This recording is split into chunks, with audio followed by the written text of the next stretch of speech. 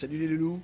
Aujourd'hui une petite vidéo qui a rien à voir. Non, rien. Rien, hein, rien, mais Nous sommes choqués. un, un truc. On, on veut partager notre, notre chocage. Regardez. On achète des, des affaires pour les animaux. hein, bah, animaux. oui, parce que les animaux, on les aime. Il faut, Ouais. hein, Mais voilà. non, non, mais là, là, là, franchement, on, on a trouvé un truc, euh, un truc. Je sais pas si ça va se voir. 148 euros le kilo. Pour ça. Alors là, il faut vraiment aimer ces animaux pour acheter quelque chose coûte 148 euros le kilo. Je veux bien que c'est presque Noël, que c'est presque les fêtes ou son anniversaire, mais quand même quoi. 148 euros Même le ton kilo. cadeau, il fait même pas 100 euros. quoi. Le piège, c'est qu'on voit un petit montant, et puis après, euh, on voit pas ce que ça coûte au kilo quoi. Bon allez, bonne journée. hein.